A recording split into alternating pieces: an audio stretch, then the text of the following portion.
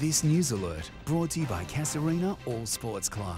All your entertainment under one roof. Good evening, I'm Kathleen Gazzola with your 9 local news update. Remote communities could be left without a police presence in just two years' time, with the federal government providing no clear commitment of ongoing funding. The Police Commissioner says it could impact the future safety of Territorians.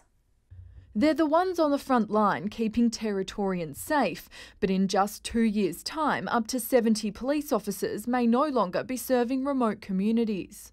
I'll need to consolidate my resources clearly, and that will mean there'll be remote Aboriginal communities that have now had a police facility and some ad hoc police presence for the last 13 years. 13 years ago, the federal government's intervention saw additional police officers rolled out in communities, but the NT government needs federal funding beyond 2022 to keep police on the beat, as well as upgrading the decades old police stations that service them.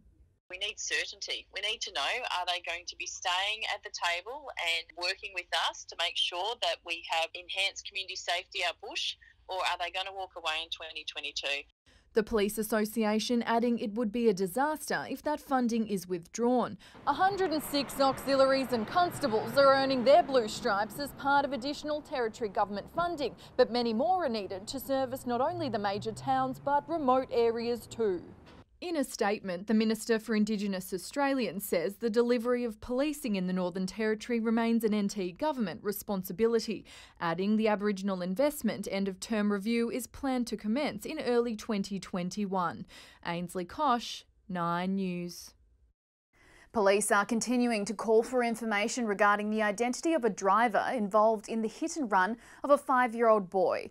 Paikeha Haiko has to undergo surgery to fix his broken legs and has also been left with internal injuries. It's very senseless. I'm devastated. I'm angry.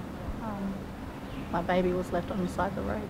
Police have identified a vehicle of interest believed to be a 2002 to 2005 Ford Falcon, possibly an XR6 or an XR8.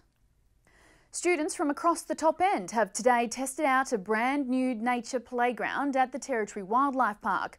But it's not the only surprise in store at the park for the school holidays swapping the classroom for a lesson out in the wild. These students are stepping back into prehistoric times to learn all about Australia's megafauna through climbing, crawling and digging. The kids can imagine and role play their next maritime adventure looking for the Paddysaurus fossil, which is in the fossil dig. Territory Wildlife Park has had the new facility in the pipeline for years, and it's been made possible by $150,000 in government funding. Our original playground was probably a, a fifth of the size. And overall, it's a welcome boost for the park and its customers, given a tough few months. It's absolutely critical to show people that we are still open and operating and we're still here for visitors. And if the brand new playground isn't enough to get you and the kids here these school holidays, the three newest addition to the park certainly will be.